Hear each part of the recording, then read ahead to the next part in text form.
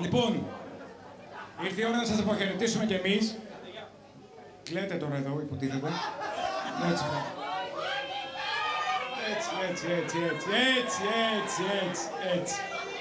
Λοιπόν, όπως πάντα τελειώνουμε το σετ μας με μια μπαλάντα για να ρεμίσουν λίγο τα πράγματα.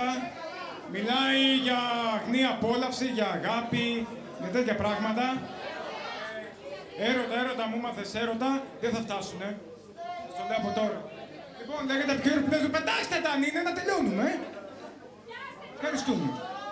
Λοιπόν, θα τα μαζέψει μετά γιατί τώρα δεν μπορεί το παιδί, είναι πίσω από τα drums.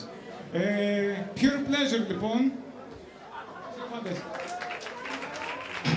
Ανδρέα, ποτέ δεν είμαι έτοιμος, μπες όποτε θες.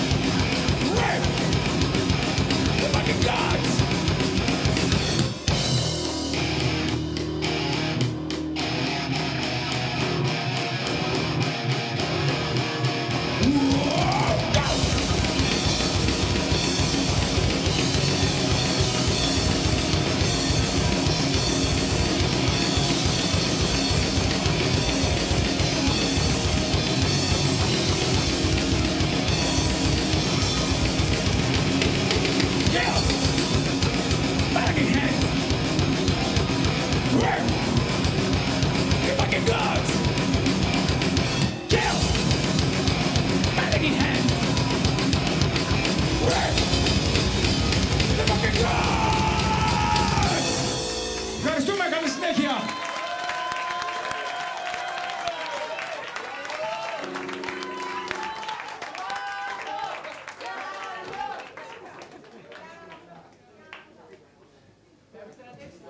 Ευχαριστούμε πολύ. Ευχαριστούμε να υποδεχτείτε τους Dan Cost Collision.